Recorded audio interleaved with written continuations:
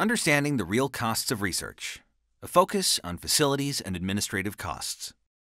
To advance our nation's economy, security, and health after World War II, the federal government decided to partner with universities to conduct research for the government.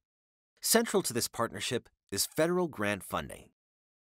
This partnership has made the United States the world leader in innovation. The Internet, GPS technology, touchscreen phones, New drugs and treatments for cancer, diabetes, Alzheimer's, and many other diseases are just a few examples of the countless innovative technologies that have resulted from federally sponsored university research.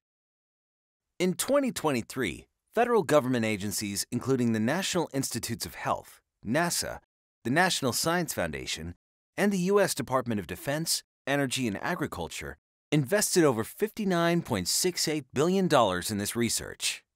This funding comes in two forms. The first is direct funding.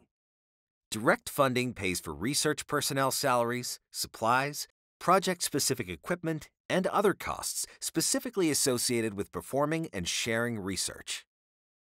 Second are institutional research infrastructure and support services not allowed to be paid directly to universities from a government grant. Expenses for institutional research infrastructure and support services are reimbursed to each university in the form of facilities and administrative costs. These are equally essential research operating costs, also called F&A, or indirect costs. This funding helps pay for the cost of laboratories and other research-specific facilities provided by the institution and used for federally funded research. This includes shared research instruments, maintenance and security for research facilities, utilities such as electricity, water, air conditioning, and heating for research spaces, and IT and cybersecurity to support and meet computing needs.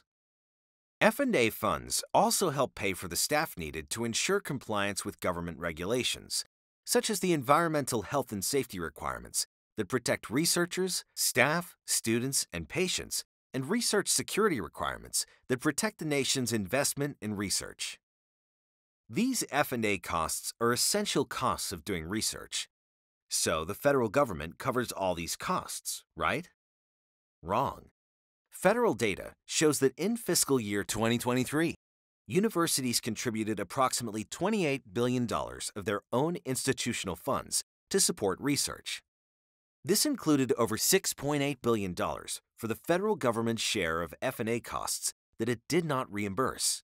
This means that universities are subsidizing federal research. Universities are making up the difference between the full costs of conducting federal research and what the government pays. In fact, unlike other research performers that are fully reimbursed for these costs, universities are strictly limited in the amount they can recover from the federal government to pay for administrative and compliance costs associated with the government research they conduct. This is due in part to an exacting F&A cost rate negotiation process with the government that requires institutions to scrupulously identify and defend costs eligible for reimbursement. Existing government-imposed reimbursement caps on certain types of research grants and on administrative costs further erode institutions' F&A cost reimbursement rates. Although the F&A cost reimbursement process is complex and not always easy to understand, it is efficient and based on actual research costs. Moreover, it has allowed the decades-long partnership between universities and the federal government to work. That partnership has been central to the country's national security, economic growth, technological innovation, and medical advances. Despite the long-standing success of this partnership, some in Washington want to significantly reduce the federal government's role in funding F&A costs. Proposals to further reduce or cap F&A cost reimbursement would directly hurt faculty and trainees and significantly harm institutions' ability to advance important discoveries. Cuts to federal F&A funding would impact many institutions' ability, too, maintain large, specialized equipment that is shared among researchers, provide the compliance personnel who ensure safety for faculty, trainees, staff, and patients, purchase and maintain IT for computing needs, maintain existing research space and buildings, including janitorial services and security services, and build cutting edge facilities necessary for modern research.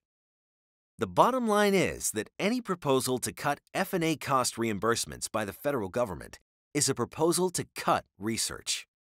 This would have a disastrous impact on research institutions' ability to foster technological innovation, improve public health and well-being, sustain a dynamic American economy, and help protect our national security. Instead of cuts, we should be talking about ways to strengthen the government university research partnership so it can thrive in the years ahead.